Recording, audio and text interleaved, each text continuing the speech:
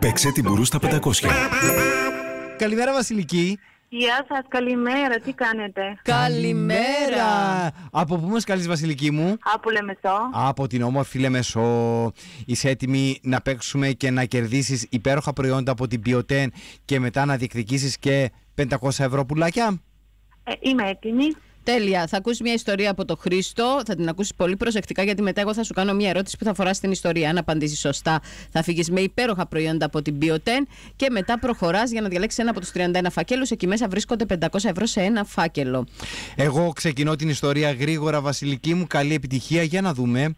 Ευχαριστώ. Άργησε η κορούλα τους η Σύση να γυρίσει το βράδυ στο σπίτι και η Άννα ήθελε ο πατέρας της να της μιλήσει αυστηρά, να της τρίξει τα δόντια. Μπαίνει λοιπόν στο δωμάτιο σκυθροπός ο Μίτσος αναστενάζει βαριά και λέει στη Σύση με τα χαριτωμένα της μαλάκια και τα γαλάζια της μάτια. Μέχρι εδώ Σύση δεν είναι δυνατόν να αργείς να έρθεις σπίτι και να νομίζεις πως δεν θα σου θυμώσουμε.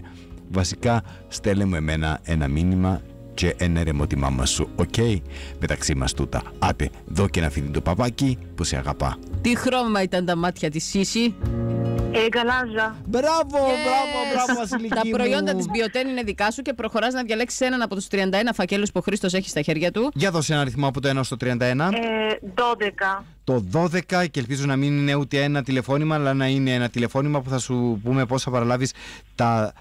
τα... τα... τα... τα 500 ευρώ που κέρδισες Μπράβο! μόλις τώρα! Ευχαριστώ. Κέρδισες 500 ευρώ πουλάκια! Ευχαριστώ. Πω πω!